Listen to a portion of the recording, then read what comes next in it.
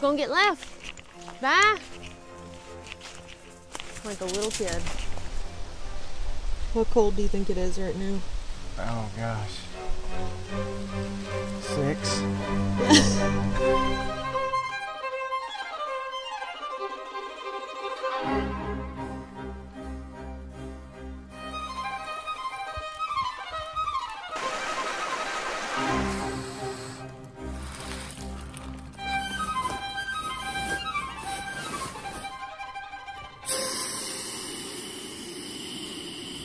And this is the most dreadful part of a cold morning when you have to start packing up.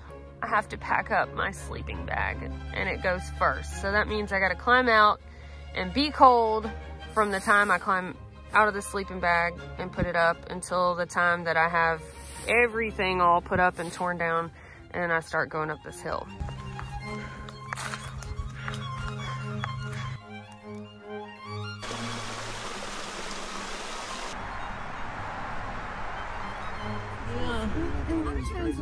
It's time to do a little swishy switcheroo with some of my gear. So I'm gonna go ahead and bring out the poncho tarp. So I'll be using that as my new rain gear and also as my new shelter with the bivy system. So I'm a little nervous about using that system, but also excited just because it's something different, something I've never used before on a longer trek. And really I wanna see the practicality of using something like that on a longer hack and in the colder temperatures is really going to be telling of whether that's something that I would enjoy or not.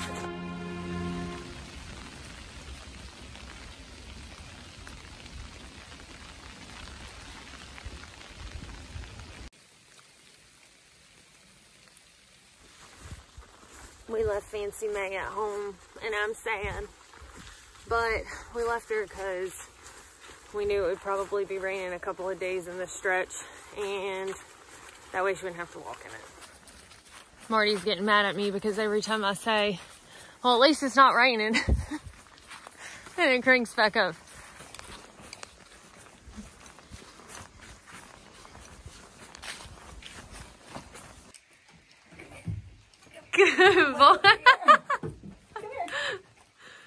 What's his name? Colby.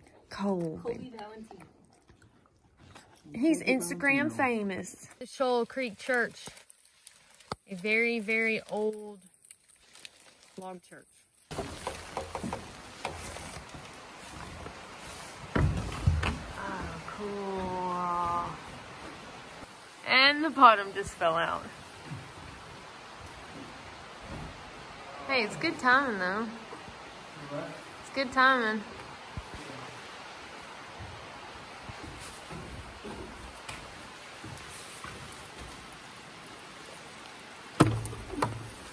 Hello out there. I would crap my pants if somebody answered. All right, this time that light is another person, not the moon. Hello.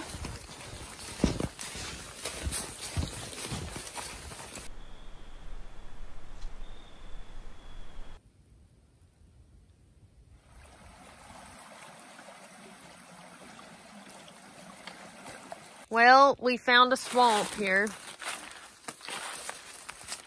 And there's a blaze on that tree in the middle of the water.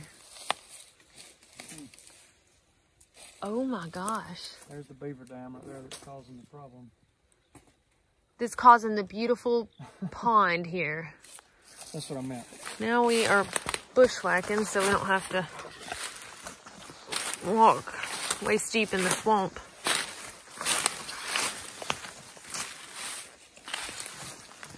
Finding somebody's old still. I have a feeling we're going to get in it whether we want to or not.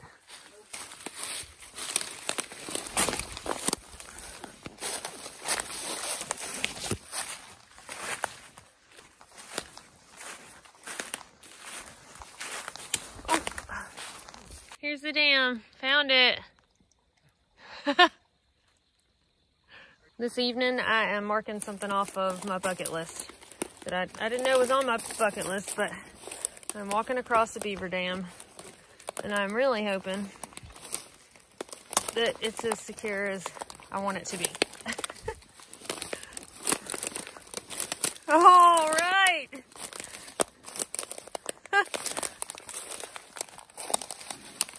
Bucket list item complete.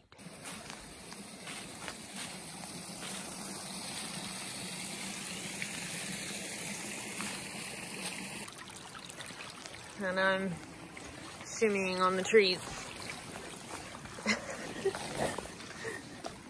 it's easier than it looks when you when you're not on it. Yeah, you were sliding on it way better. Yeah. The the problem with this tree is the top one, the bark is falling off, and the bottom one is slick. Yay! You ain't hiding. I saw your little eyes glowing. Oh, This night hike has turned out to be quite troublesome compared to the others.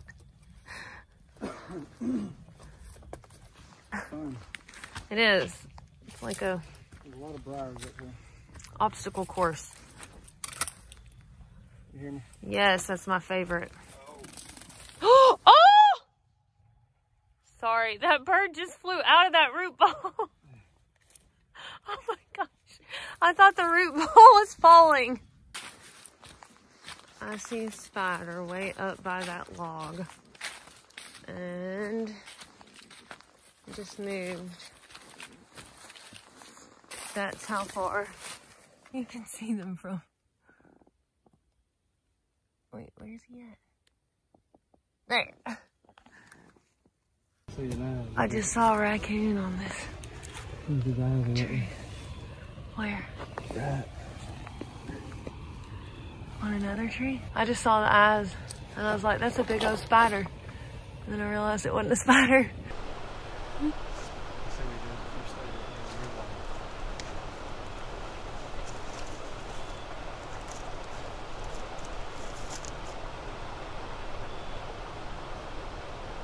Yeah, I see him here.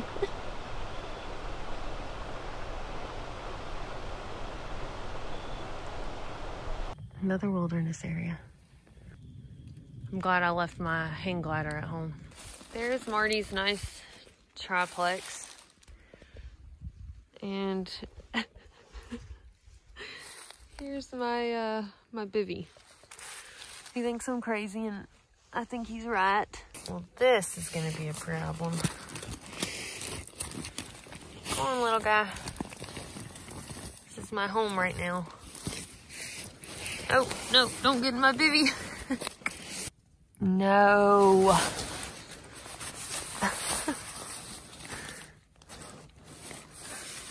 Go on now.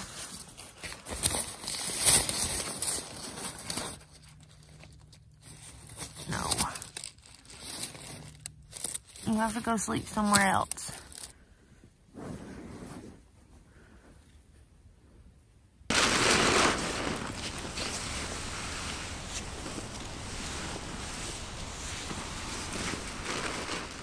Once the temperature started dropping, I switched to the Katabatic, I believe it's pronounced Alsek 22 degree quilt and I love it. It is it is very lofty. It's kept me warm at least into the upper 20s. It does a pretty good job of cinching down in a way that you're able to block drafts, but I do I think like the strap system that goes on your sleeping pad better on the enlightened equipment quilt I was using. I just it was a bit easier to adjust and kind of lock in place. But uh, but all in all, I really do like this quilt, and I'm excited to keep using it because it seems appropriate for the current temperatures I'm facing right now. Another thing I've been playing around with as far as sleep systems go is a pillow. I first started with the Flex Air pillow by Litesmith, and it's very cheap, extremely lightweight. It hasn't been my favorite one, I'll say that, but it would definitely work if you were wanting to stay just very ultralight, but you wanted a little bit more comfort. Next, I tried out the Sea to Summit Aeros Ultralight.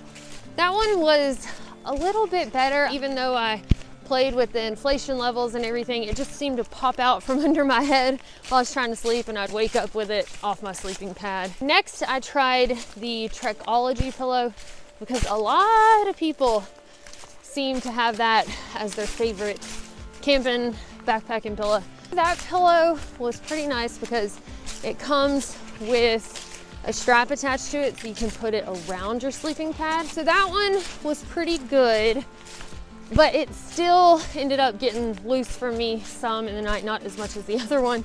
Uh, so finally, I think I have landed on the Klymit X pillow. So far, that one has been my favorite and has worked the best for me. And in the X part of the pillow, there's a little dip and my head just seems to stay better in place regardless if I'm on my back or on my side and I didn't have to chase that pillow around all night. Now I should qualify all of this by saying that I'm not super big on pillows even when I'm back home.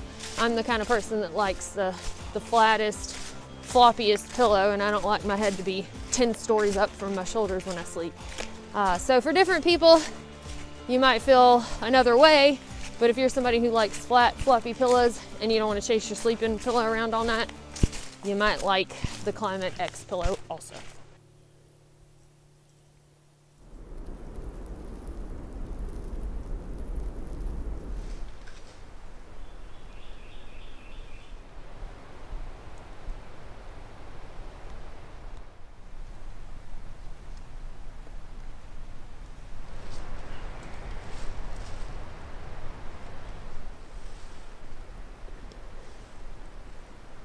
Yeah, it makes you wonder what happened, you know? Yeah. Of course, I can't help but think about how scared they must have been. Is it slick? If it's slick. Oh, God.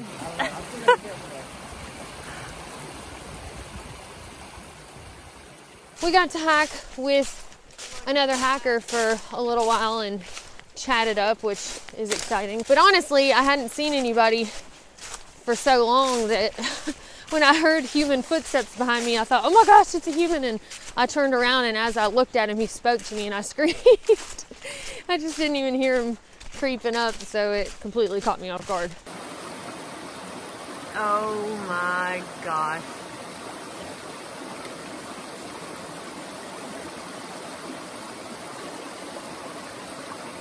Wow. I don't normally take the time to do this, but since it is cold out, we're about to stop for lunch. I am not gonna have soaking feet the rest of the day. No! Off to a bad start here. Alright. Oh my god.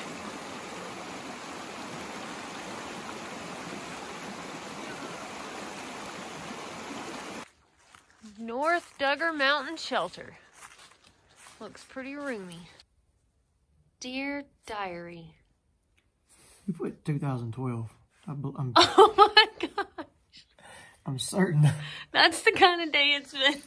In the whole time I've been out on this trail, there might have been one night where I haven't night hiked. And that, that was a glorious day. But I've just, I've kind of quit lying to myself that I'm to do better uh, because I'm just not an early riser.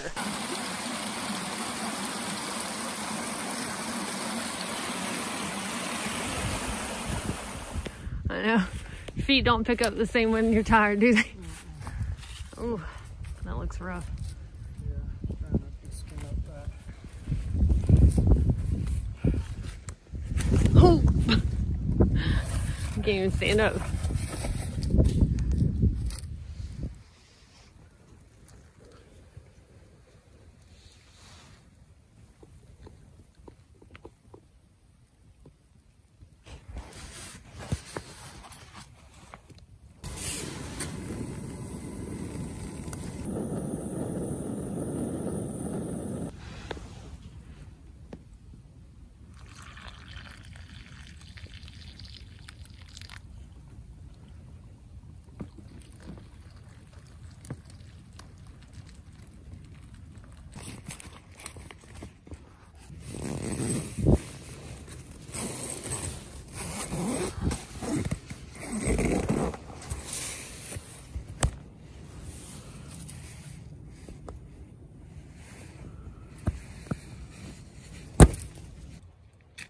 I felt like it had forgotten that it needed to shine on earth sometimes.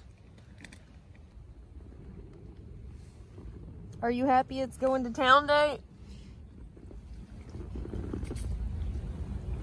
I'm, I'm ready for a shower.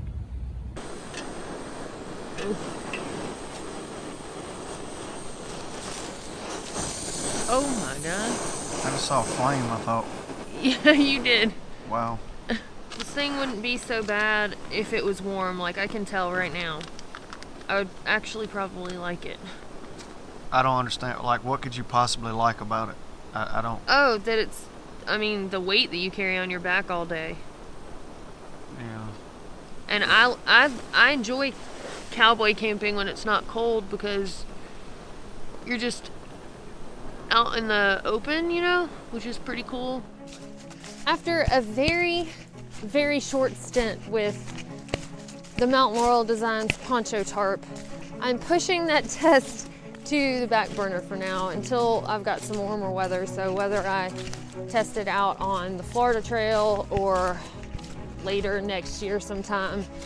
It's just gotta wait because honestly, right now, I cannot give it a fair design, and that is no fault of its own. It's just, I'm very, very cold natured, and I had planned on being done with this trail. There was still nice weather. And I think if I had taken it this past summer with me to the Pine Mountain Trail, that would have been a great place to test it.